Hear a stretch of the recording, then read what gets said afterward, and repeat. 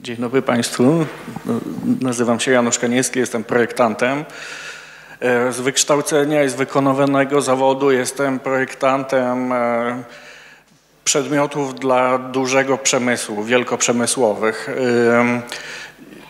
Jeżeli byli Państwo tydzień temu na arenie design tutaj w Poznaniu, to myślicie Państwo, że design to są takie gadżety, torebki filcowe, fajne szafki, e, mebelki, gadżety, prezenty ślubne. Nie. E, tak naprawdę opowiem Państwu, na czym to polega tak naprawdę nie polega na tym, żeby zrobić przedmiot, który będzie ładny. Przedmiot to jest tylko narzędzie. E, przedmiot to jest tylko sposób, żeby inwestor zarobił, a użytkownik miał z tego przyjemność. I tak naprawdę to ja projektuję y, uczucia ludzi, którzy będą z tego korzystać. I to, co mnie najbardziej kręci i dlaczego ja się nigdy nie znudzę tym zawodem, że to jest projektowanie uczuć i to jest projektowanie uczuć ludzi, którzy albo jeszcze się nawet nie urodzili, albo jeszcze w tym momencie z tego nie korzystają, bo projektant żyje po prostu gdzieś tam daleko w przyszłości. I o tym opowiem na tym wykładzie.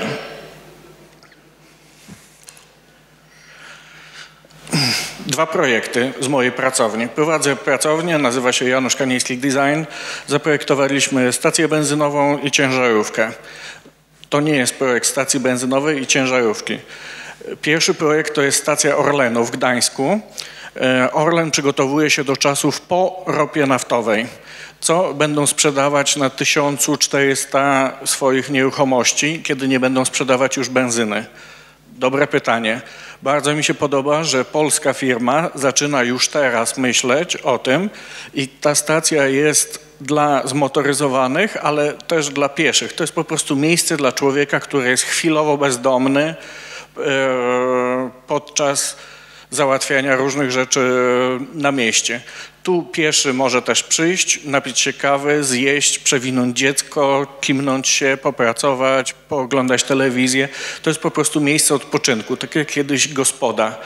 Podoba mi się, że w Polsce zaczyna się takie myślenie, co będzie za 10 lat. E, jakie uczucie mamy tutaj e, dać użytkownikowi? Przyjemność. Drugi projekt ciężarówka. Teoretycznie jest to, mm, przepraszam, wystawa Kibri. Firma Koło produkuje e, ceramikę łazienkową, ale właśnie chce ewoluować w stronę e, dawania ludziom przyjemności. I ta ciężarówka bardzo specjalna bardzo specjalistyczny pojazd e, jest zbudowana właśnie w taki sposób. To jest bardzo duży salon łazienkowy z drewnianą podłogą, częściowo przeszkloną, podświetloną, z tarasem na dachu, naciskam guzik, wyjeżdża bar na górę. To jest miejsce do przyjemnego spędzania czasu. Śmiejecie się, ale e, nierzadko to jest jedyny intymny moment, e, kiedy człowiek może sobie pobyć sam i, nie wiem, poczytać gazetę, podłubać w nosie. O tym, o takich podprogowych rzeczach e, są te projekty.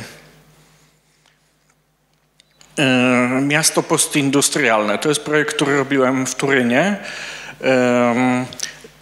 Na terenie dawnej fabryki lokomotyw powstaje miasto, w którym mieszka na przykład Ewa Hercigowa. Z etosu miasta robotniczego Turyn ewoluuje w stronę miasta leisure, w stronę miasta welfare, w stronę miasta przyjemności. E, tego typu projekty są hardwarem, ale docelowym efektem jest software, czyli właśnie przyjemność, którą ludzie będą z tego mieli. E, jak będzie to miasto wyglądało? Ja projektując teraz muszę wiedzieć, jak będzie wyglądał kontekst tego, gdzie będzie mój projekt za 10-15 lat. E, samochody, moja miłość, są wyrzucane z miasta. Kończy się historia samochodu. Z Berlina, z Londynu, z Kopenhagi samochody są wyrzucane i przepisami, i przyzwyczajeniami ludzi, którzy się przesiadają na rowery, na transport publiczny. Jak ten transport publiczny będzie wyglądał? Jedną z tych propozycji jest e, tak zwane PRT, czyli kolejka, która jeździ na poziomie pierwszego piętra, nie zajmuje jezdni. E, są to pojedyncze wagoniki, e, w których mieści się po kilka osób. Dlaczego po kilka, nie po kilkanaście albo nie po kilkadziesiąt? Dlatego, że brzydka wiadomość, ludzie brzydzą się ludźmi. To znaczy ludzie chcą mieć intymność, chcą nie wąchać, nie oglądać, nie gadać z innymi ludźmi. W grupie przyjaciół, okej, okay, ale jak wsiądziecie do windy, to wszyscy się gapią w sufit albo gdzieś po przyciskach dookoła, ale nikt nikomu nie patrzy w oczy, nikt nikomu nie patrzy, jak to jest ubrane. Tak bliski kontakt, wymuszony sztucznie przez małą przestrzeń, powoduje, że ludzie się czują nieswojo i starają się przeczekać jak najszybciej ten, ten moment, y, kiedy są razem. I to jest bariera, którą projektanci transportu nie są w stanie przeskoczyć. Po prostu nie i już. Jeżeli ktoś z Was ma dobry pomysł na to, jak to rozwiązać, jak dać osobie, która jedzie tramwajem, poczucie intymności e, porównywalne z tym, jak ta osoba jedzie sobie własnym samochodem, co jest nieracjonalne, jest drogie, jest kłopotliwe, ale to jest moje 4 metry kwadratowe miasta, e, to będzie mm, najważniejszy projekt XXI wieku. Czym zastąpić samochód? 4000 lat jeździło się własnym zaprzęgiem, z własnym koniem, własnym powozem. Później przez 100 lat był krótki epizod samochodu. Teraz musimy, po prostu musimy się przesiąść na coś innego, ale tą potrzebę intymności i nikt nie wie, jak to, jak to zastąpić. Pewnym pomysłem byłoby nawiązanie do takich najbardziej podstawowych potrzeb. Ten po lewej to jest e, Peugeot BB z lat 20. To jest samochód właściwie jednoosobowy, ale to jest samochód, gdzie dama mogła wsiąść i się wygodnie rozebrać z futra i dopiero zasiąść za kierownicą. Ile byście nie wydali na samochód dzisiejszy, współczesny, nie ma siły. Dama się nie rozbierze z futra. Nie ma, nie ma na to miejsca. Więc może rozwiązaniem jest rzeczywiście yy, przeszklona kabina. To jest mój projekt. Ja próbowałem nawiązać do BBS z lat dwudziestych. Yy, tej jednej rzeczy nie jesteśmy w stanie rozwiązać od 100 lat. Kolejna rzecz, uprzedzenia. Yy, to jest samochód, który ja robiłem dla Chińczyków i który jest elektryczny. Skaranie boskie. E, samochód powinien być drogi, metalowy, ordynarny, arogancki, e, budzić zawiść mojego sąsiada, e, działać na kobiety w, okolicy, no a chiński, plastikowy i elektryczny, no nie ma siły. Do samochodu przywiązaliśmy, jak do żadnego innego przedmiotu, tak mocną wagę emocjonalną, że nie jesteśmy się w stanie z tego wyplątać, nie jesteśmy w stanie go potraktować. To jest niegłupi projekt. Tyle, że on nie ma szans, żeby dużo kosztował, bo po prostu ludzie go nie będą kochać. Kolejna rzecz, bardzo ważna w projektowaniu. Łatwo jest coś zrobić. Dużo trudniej jest coś zniknąć. To jest projekt, który robiliśmy e, w Royal College of Art e, dla Londynu. E, będą zastępowane autobusy dwupiętrowe, te stare, nowymi autobusami. I teraz co do kurczę zrobić z tymi starymi autobusami? 14 tysięcy bodajże, albo 40 tysięcy, już w tym momencie mi się myli. Co z nimi zrobić? W Nowym Jorku stare pociągi wywalają do rzeki Hudson, bo podobno e, rdza działa dobrze na ryby, które akurat tam żyją. Londyn oddaje swoje autobusy stare, te roadmastery, double decki, e, na prawo i lewo do Indii, do Wietnamu, do Kambodży i tak dalej, gdziekolwiek, byle się ich pozbyć. Tu był projekt na przykład, żeby zrobić z nich hotel, że każdy taki autobus wiszący na, na szkielecie betonowym, że to jest, że to jest apartament design bardzo często właśnie na tym polega, jak się czegoś pozbyć, a nie jak coś zrobić. Jak wypuścić ludzi do przestrzeni publicznej? Jesteśmy zamknięci w naszych mieszkaniach, w ogóle nie korzystamy z tego, co jest na zewnątrz. To jest projekt, który robiliśmy kiedyś e, na Islandii. Wymyśliliśmy takie szklane kontenerki, które mogą być częściowo publiczne, częściowo prywatne. Po prostu tak sobie stoją i wózki, które takie typu z centrum handlowego, które można sobie używać zupełnie spokojnie na ulicy. Za darmo stoją wszędzie. Może dobry pomysł, może tak się da oswoić ludzi z przestrzenią publiczną. Po co to? Jeżeli wypchniemy samochody na zewnątrz i będzie transport publiczny, tutaj na pierwszym piętrze są chodniki jeżdżące, na dole jest dosłownie tych kilka samochodów, e, to zamiast ulic będą place. I e, to spowoduje taki patriotyzm podwórkowy, a nie miejski, a nie wojewódzki, a nie krajowy. To by była bardzo fajna rzecz. Fajny pomysł, o ile dzieci nie zdecydują inaczej. To jest pułapka gigantyczna. Projekt tamten, który pokazywałem, podobał Wam się ten rysunek. To był projekt zrobiony w Gdyni, e, który polegał na tym, my, projektanci, zrobiliśmy bardzo fajną wizję miasta przyszłości, potem daliśmy to dzieciom z przedszkola do zepsucia. I dzieci nasiąknięte estetyką taką, jaką są nasiąknięte, e, dorysowały to, co chcą. I tak, ja mogę sobie wymyślić fajne, modernistyczne wnętrze, puste, minimal, z widokiem na morze i tak dalej, a dzieciak mi dorysuje telewizor na kominku, bo po prostu tak wychowujemy dzieci, że pokazujemy im taką estetykę. Jeżeli teraz w sklepach dla dzieci wszystkie zabawki dla dziewczynek są różowe, to nie dziwmy się, że za chwilę, za 20 lat e, rzeczy projektowane przez projektantki, e, ówczesne trendseterki 30-letnie, też będą właśnie w takiej infantylnej estetyce. Sam znam ten przykład. Jestem współautorem logo Fiata.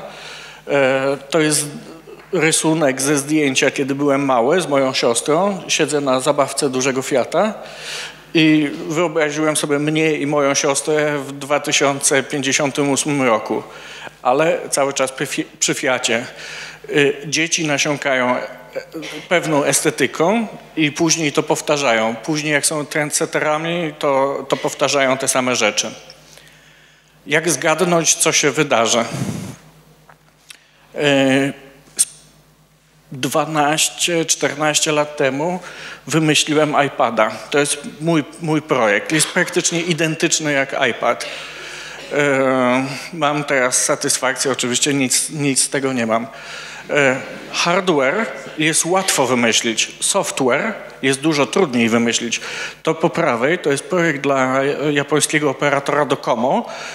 E, znowuż 10 lat przed Facebookiem myśleliśmy, żeby połączyć sieci telefoniczną, internet i kamery miejskie, po to, żeby człowiek, jeżeli chce, mógł sobie,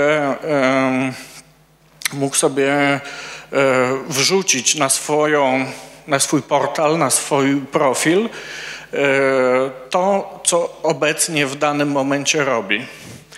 E, czyli generalnie trochę pomysł e, facebookowy, ale zanim do Komo e, by to rozwinęło, co się stało?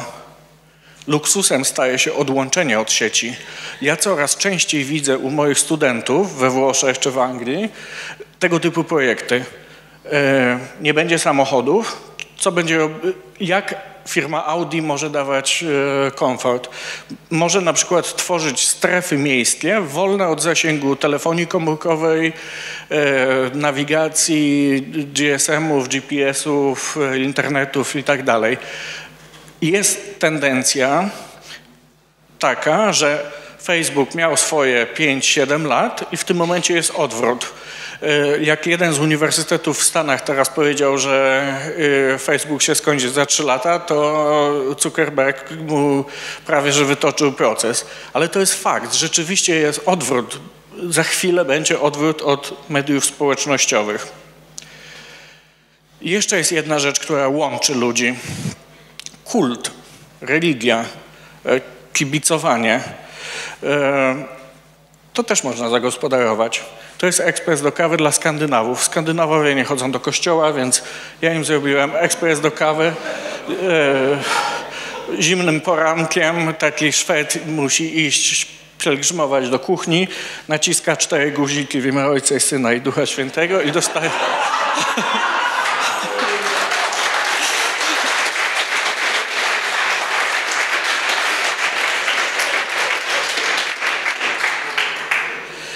To po prawej to są scenografie do filmu fabularnego e, plus teledyski, a tak naprawdę tam był product placement i tam były włożone przedmioty do przetestowania dla dużej marki motoryzacyjnej.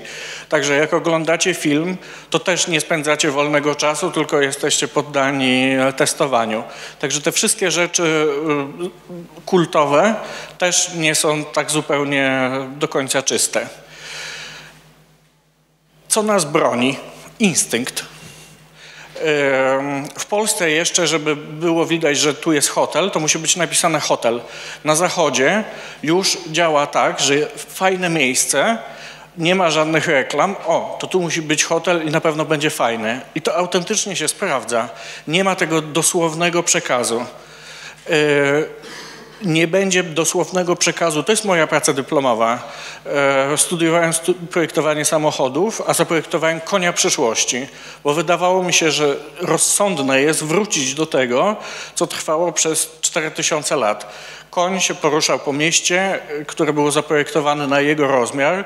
Jak na parkingu nie ma miejsca na jeszcze jednego konia, to wszystkie się posuną i jeszcze jeden się znajdzie, e, zmieści. Samochody tak nie mają. Jeżeli jadę na pocztę, to samochód y, muszę gdzieś porzucić, a koń sobie po prostu gdzieś poczeka albo sobie pójdzie. Więc może właśnie instynkt, to przywiązanie, bliskość człowieka, dogadanie się z żywą tkanką, a nie z samochodem, może jest mądrzejsze. Yy jak to by miało wyglądać i jakie są ograniczenia. Kończy mi się czas, mam 30 sekund. To jest, wyobraziłem sobie, jak będzie wyglądało moje okolice mojego biura w Warszawie za 20-30 lat. Tak naprawdę bardzo podobnie do tego, co jest. Architektura zostanie prawdopodobnie ta sama. Te kilka pojedynczych samochodów, mój stary Mercedes, zostanie, bo kolekcjonerzy będą sobie to trzymali. E, prowokacyjnie wyrysowałem coś takiego jak płaski pies. To jest kurier miejski. E, pies ma same zalety, jeśli chodzi o, o tą funkcję. Jest e, niezawodny, jest szybki, jest zwinny, jest bezpieczny, obroni pakunek, ma instynkt, umie trafić i tak. Ma jedną wadę – ma wystający grzbiet, ale można go może modyfikować genetycznie i zrobić, żeby był płaski. Prowokacja, możecie się uśmiać, ale to jest właśnie ten sposób projektowania. Natomiast co jest najciekawsze, i to jest konkluzja całego tego wykładu. Ludzie, bo to ja dla nich projektuję te rzeczy, ludzie wyglądają tak samo jak dzisiaj ludzie nie nadążają za tą technologią, którą dostają. Jak słyszę o kolejnych systemach, które mogą mnie nawigować i pokazywać mnie, gdzie jestem, i pokazywać moim przyjaciołom, gdzie jestem, to ja mam ochotę wyrzucić to do rzeki. Bo ja nie chcę, żeby moi przyjaciele wiedzieli, gdzie jestem, jak idę na spacer do, do lasu. Autobus naszpikowany elektroniką, gdzie wyświetlają się wszystkie informacje, gdzie jest biletomat, gdzie jest e, kasownik super nowoczesny, karta miejska, system taki, system taki, jest dla mnie jeszcze dla, do ogarnięcia, ale dla babci 60-letniej jest już barierą nie do przejścia. Babcia, która ma 60-70 lat, nie jest w stanie poruszać się po lotnisku albo po nowoczesnym autobusie. Technologia ją przerosła. I ja tutaj wolę system japoński, gdzie są bezrobotni, którzy są zatrudniani do tego, żeby dopychali ludzi do środka wagonu, albo tłumaczyli takim babciom, jak się mają poruszać. Albo widziałem to w Tokio, myślałem, że padnę ze śmiechu, ale to jest niegłupie. Stoi pani, schody ruchome, poręcz jedzie i tam, gdzie, się, gdzie zakręca, stoi pani i trzyma szmatkę i on po prostu trzyma. I poręcz się sama czyści. Ale dzięki temu Pani ma zajęcie, a w razie czego może udzielić informacji. I to jest moja konkluzja z tego całego mm, wykładu. My możemy sobie wymyślać różne super technologiczne rzeczy, ale jeżeli one nie będą służyły ludziom, to to jest bez sensu. Kolejna prowokacja. A jeżeli w związku z tym prawdziwa jest teoria, że za 30 lat 80% ludzi będzie niepotrzebnych zawodowo, to może ma sens powrót do systemu, y, że to jest transport przyszłości, lektyka, bo to daje, to zaspokaja wszystkie potrzeby człowieka, który sobie w tym momencie kupuje Porsche. E, potrzeba arogancji, agresji, e, status symbolu i tak dalej. Nie wiem, może. W czym jest kwestia? Kwestia jest w przeskoczeniu e, między przedmiotem a człowiekiem. Człowiek jest ważniejszy. Między własnym a publicznym. To jest miejsce publiczne w Gdyni. Jest niczyje. W związku z tym design jest kijowy, jak widzicie, bo wszyscy uważają, że jest niczyje. Tak naprawdę to jest wszystkich, ale uważane jest, że to jest niczyje nie jest osobiste, nie ma w tym instynktu, że to jest moje. Dworzec centralny w Warszawie, e, niczyj, zrobiony na, wyremontowany na Odwalsie. E, pół na pół, nowoczesne budynki, ale plecami odwrócone do przestrzeni publicznej. Czyli tak jakbym miał sweter, od przodu oczyściłem z kocich kłaków, a z tyłu mnie nie obchodzi, bo tego nie widzę. I na koniec e, moje. E, Gdynia to jest jedyne miasto, gdzie na co trzecim samochodzie widzę naklejkę Gdynia moje miasto. I e, chyba o to chodzi. Potraktować projektowanie, potraktować przestrzeń publiczną w taki sposób, żeby to traktować jako moje, osobiste. A żeby było osobiste, to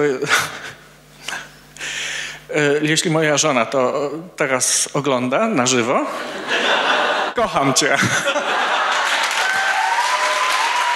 しくお願いします